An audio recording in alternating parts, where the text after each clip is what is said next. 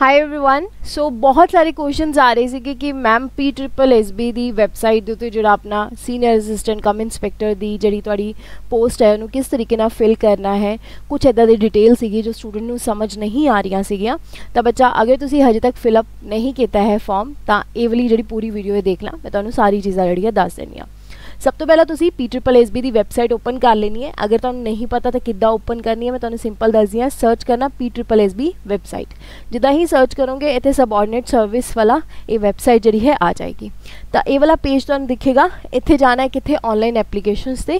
Online applications ਤੇ ਜਿਹੜਾ ਹੈ ਜਾਓਗੇ, ਤਾਂ ਆਪਣਾ ਇਹ ਵਾਲਾ ਖੁੱਲ ਜਾਏਗਾ। ਇੱਥੇ ਹੀ ਜਿਹੜਾ ਹੈ ਤੁਹਾਨੂੰ ਪਤਾ ਲੱਗੇਗਾ ਕਿ ਜਿਹੜਾ ਸੀਨੀਅਰ ਅਸਿਸਟੈਂਟ ਕਮ ਇਨਸਪੈਕਟਰ ਹੈ group B department in local government advertisement number 6 2023 ਇਹਦੀ ਆਨਲਾਈਨ ਐਪਲੀਕੇਸ਼ਨ ਜਿਹੜੀ ਹੈ 2/10 ਤੋਂ ਸਟਾਰਟ ਹੋਈ ਹੈ ਯਾਨੀ ਕਿ 2nd ਆਫ ਅਕਤੂਬਰ ਤੋਂ ਜਿਹੜੀ ਲਾਸਟ ਡੇਟ ਹੈ ਐਂਡ ਡੇਟ ਹੈ ਜਿਹੜੀ ਫਾਰਮ ਸਬਮਿਸ਼ਨ ਦੀ ਉਹ ਕਿੰਨੀ ਹੈ ਬੀ ਬਟ ਬੱਚਾ ਇਸ ਤੋਂ ਪਹਿਲਾਂ ਪੜਨਾ ਹੈ ਕਿਉਂਕਿ 3 ਦਿਨ ਬਾਅਦ ਤੁਸੀਂ ਜਿਹੜੀ ਹੈ ਫੀਸ ਵੀ ਆਪਣੀ ਫਿਲ ਅਪ ਕਰਨੀ ਹੈ ਤਾਂ 3 ਦਿਨ ਬਾਅਦ ਤੁਹਾਡਾ ਫੀਸ ਭਰਨ ਦਾ ਜਿਹੜਾ ਹੈ ਓਪਨ ਹੋਏਗਾ ਪੋਰਟਲ ਤਾਂ ਤੁਸੀਂ ਕੀ ਕਰਨਾ ਹੈ ਸਭ ਤੋਂ ਪਹਿਲਾਂ ਜਿਵੇਂ ਇਹਦੇ ਥੱਲੇ ਜਾਣਾ ਹੈ ਠੀਕ ਹੈ ਬਿਲਕੁਲ ਹੀ ਥੱਲੇ ਦੇਖੋਗੇ ਜਾਂ ਤੁਸੀਂ ਕਹਿ ਲਓ ਇੰਜ ਇੱਥੇ ਕਲਿੱਕ ਕਰ ਦੇਣਾ।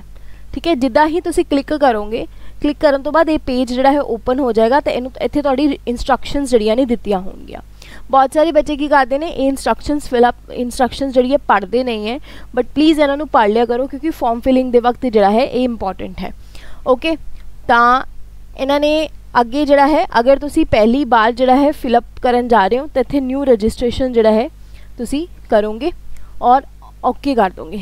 ਇੱਥੇ ਨਿਊ ਰਜਿਸਟ੍ਰੇਸ਼ਨ ਵਾਲਾ ਪੇਜ ਖੁੱਲ ਜਾਏਗਾ ਤੇ ਇੱਥੇ ਸੀਨੀਅਰ ਅਸਿਸਟੈਂਟ ਐਂਡ ਇਨਸਪੈਕਟਰ ਦਾ ਕਲਿੱਕ ਕਰਕੇ ਤੁਸੀਂ ਗੋ ਕਰ ਦੇਣਾ। ਠੀਕ ਹੈ? ਉਸ ਤੋਂ ਬਾਅਦ ਇਹ ਤੁਹਾਡੀ ਡਿਟੇਲਸ ਪੁੱਛੇਗਾ ਡਿਟੇਲਸ ਦੇ ਵਿੱਚ ਕੀ ਹੈ ਕਿ ਸਭ ਤੋਂ ਪਹਿਲਾਂ ਪੋਸਟ ਕਿਹਦੇ ਵਾਸਤੇ ਅਪਲਾਈਡ ਕਰ ਰਹੇ ਹੋ? ਇਹ ਤਾਂ ਆਪਾਂ ਪਹਿਲਾਂ ਹੀ ਸਿਲੈਕਟ ਕਰ ਲਿਆ ਤੁਹਾਡਾ ਐਪਲੀਕੈਂਟ ਨੇਮ ਕੀ ਹੈ? ਹਾਂਜੀ, ਇੱਕ ਗੱਲ ਹੋਰ ਹੈ, ਜਦੋਂ ਵੀ ਐਪਲੀਕੈਂਟ ਨੇਮ ਭਰੀਦਾ ਹੁੰਦਾ ਹੈ, ਹਮੇਸ਼ਾ ਆਪਣੀ ਗ੍ਰੈਜੂਏਸ਼ਨ ਦੇ ਹਿਸਾਬ ਦੇ ਨਾਲ ਦੇਖਣਾ ਕਿ ਉੱਥੇ ਕੀ ਨੇਮ ਲਿਖਿਆ ਸੀ। ਅਗਰ ਉੱਥੇ ਤੁਹਾਡੀ ਕਾਸਟ ਨਹੀਂ ਲਿਖੀ ਸਪੋਜ਼ ਮੇਰੀ ਯਸ਼ਿਕਾ ਟੰਡਨ ਹੈ ਤੇ ਪਿੱਛੇ ਟੰਡਨ ਨਹੀਂ ਲਿਖਿਆ ਤਾਂ ਮੈਂ ਇੱਥੇ ਐਪਲੀਕੇਸ਼ਨ ਤੇ ਟੰਡਨ ਨਹੀਂ ਪਾਵਾਂਗੀ। ਠੀਕ ਹੈ? ਇਸੇ ਤਰੀਕੇ ਨਾਲ ਫਾਦਰ ਐਂਡ ਮਦਰ ਇਹ ਅਕੋਰਡਿੰਗ ਟੂ ਤੁਹਾਡੀ ਜਿਹੜੇ ਡਾਕੂਮੈਂਟਸ ਹੈ, ਉਹਦੇ ਅਕੋਰਡਿੰਗਲੀ ਹੀ ਤੁਸੀਂ ਫਿਲ ਕਰਨਾ ਹੈ। ਅਗਰ ਮੈਰਿਡ ਹੋ ਤਾਂ ਮੈਰਿਡ ਕਰ ਦੇਣਾ, ਨਹੀਂ ਤਾਂ ਸਿੰਗਲ ਆਏਗਾ ਆਪਣਾ।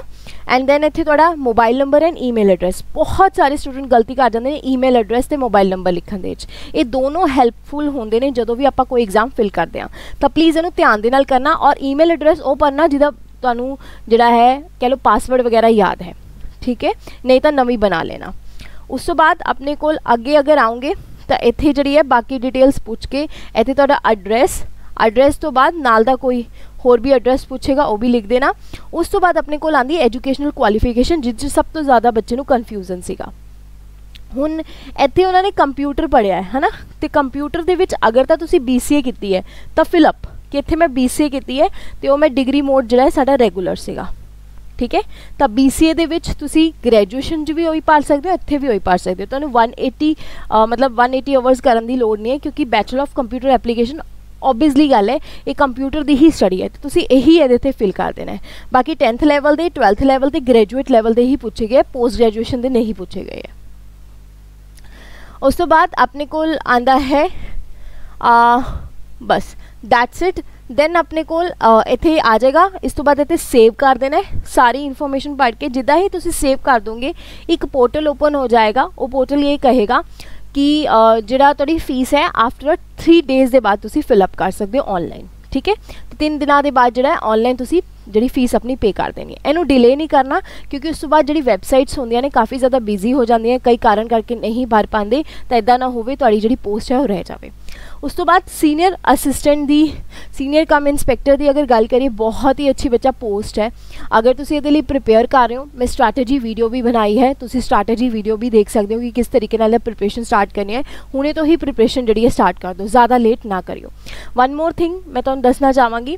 ਅਗਰ ਤੁਸੀਂ ਫੁੱਲ ਫਲੈਜ ਕੋਰਸ ਜਿਹੜਾ ਹੈ, ਚਾਹੁੰਦੇ ਹੋ ਕਿ ਬਈ ਤੁਹਾਡੀ ਜਿਹੜੀ ਪੀ ਟ੍ਰਿਪਲ ਐਸਬੀ ਦੀ ਜਿਹੜੀ ਤਿਆਰੀ ਹੈਗੀ ਹੈ, ਕੋਈ ਕਰਵਾ ਦੇ, ਤੁਸੀਂ ਕਦੀ ਕੀਤੀ ਨਹੀਂ ਹੈ, ਤਾਂ ਤੁਸੀਂ ਪੰਜਾਬ ਅਡੇ 24/7 ਦੀ ਵੈਬਸਾਈਟ ਦੇ ਉੱਤੇ ਜਾ ਕੇ ਵੀ ਚੈੱਕ ਕਰ ਸਕਦੇ ਹੋ ਸਾਡਾ ਇੱਕ ਸੀਨੀਅਰ ਅਸਿਸਟੈਂਟ ਦਾ ਕੋਰਸ ਜਿਹੜਾ ਹੈ ਕੱਲ ਤੋਂ ਹੀ ਸਟਾਰਟ ਹੋਇਆ ਹੈ ਇਹ ਕੋਰਸ ਜਿਹੜਾ ਹੈ ਲਾਈਵ ਤੇ ਰਿਕਾਰਡਡ ਬੈਚ ਹੈ ਮਤਲਬ ਇਹਦੇ ਵਿੱਚ ਲਾਈਵ ਕਲਾਸਿਸ ਵੀ ਹੋਣਗੀਆਂ ਤੇ ਰਿਕਾਰਡਡ ਕਲਾਸਿਸ ਵੀ ਹੋਣਗੀਆਂ।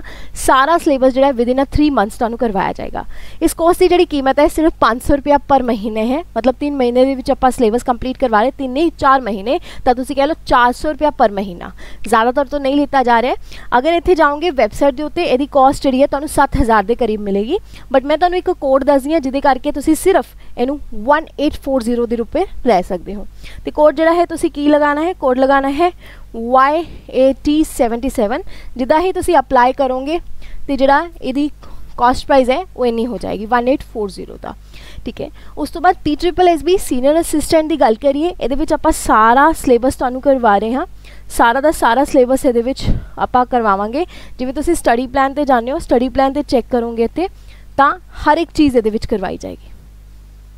ठीक है? ਹਰ ਇੱਕ syllabus geography environment each and everything ਠੀਕ ਹੈ ਸਟੱਡੀ ਪਲਾਨ ਵੀ ਤੁਸੀਂ ਚੈੱਕ ਆਊਟ ਕਰ ਸਕਦੇ ਹੋ ਕਿ ਇਹਦੇ ਵਿੱਚ ਕੀ ਕੀ ਤੁਹਾਨੂੰ ਜਿਹੜਾ ਹੈ ਮਿਲੇਗਾ ਬਾਕੀ ਫਾਰਮ ਫਿਲਿੰਗ ਪਲੀਜ਼ ਧਿਆਨ ਦੇ ਨਾਲ ਕਰਨਾ ਕਿਉਂਕਿ ਗਲਤੀਆਂ ਜਿਹੜੀਆਂ ਹੁੰਦੀਆਂ ਬੱਚੇ ਕਰ ਦਿੰਦੇ ਨੇ ਅਗਰ ਬਾਈ ਮਿਸਟੇਕ ਤੁਸੀਂ ਭਰ ਚੁੱਕੇ ਹੋ ਗਲਤੀ ਵੀ ਹੋ ਗਈ ਹੈ ਤਾਂ ਪਲੀਜ਼ ਪੀ ਟ੍ਰਿਪਲ ਐਸਬੀ ਨੂੰ ਮੇਲ ਕਰੋ ਜਾਂ ਉਹਨਾਂ ਦੇ ਆਫਿਸ ਜਾਓ ਜਾਂ ਉਹਨਾਂ ਨੂੰ ਕਾਲ ਕਰਕੇ ਦੇਖੋ ਰਾਈਟ ਸੋ ਆਈ ਹੋਪ ਇਹ ਵੀਡੀਓ ਜਿਹੜੀ ਹੈ ਤੁਹਾਡੇ ਲਈ ਹੈਲਪਫੁਲ ਹੋਏਗੀ ਅਗਰ ਕੋਈ ਦਿੱਕਤ ਆ ਰਹੀ ਹੋਏਗੀ ਮੈਨੂੰ ਕਮੈਂਟ ਸੈਕਸ਼ਨ 'ਚ ਦੱਸਣਾ ਆਪਾਂ ਨੂੰ ਸੋਲਵ ਆਊਟ ਕਰਾਂਗੇ ਧੰਨਵਾਦ